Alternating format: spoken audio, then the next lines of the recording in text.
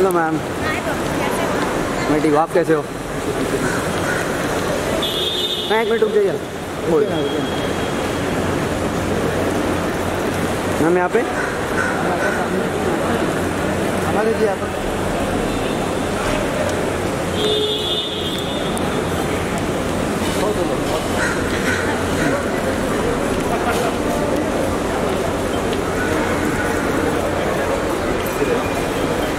बहुत प्यारे लग रहे हो मैम। बाय